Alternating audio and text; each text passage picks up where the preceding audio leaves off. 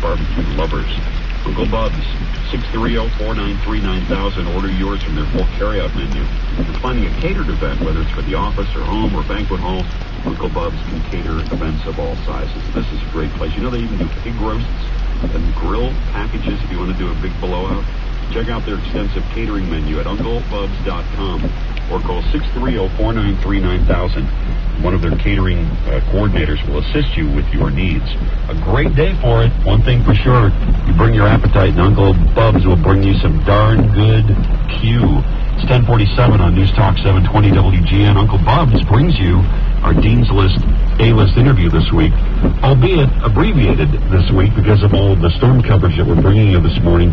We do have, uh, you know, some of it. I was hoping to bring you both John Malkovich and Tilda Swinton talking about their new movie Burn After Reading. I think we're going to only have time for one of those, which we'll get to in one of uh, just a minute. Uh, I'll tell you about that movie in a minute. I wanted to tell you about some of the other movies opening this week. You know, I was surprised how much I like this movie, The Women.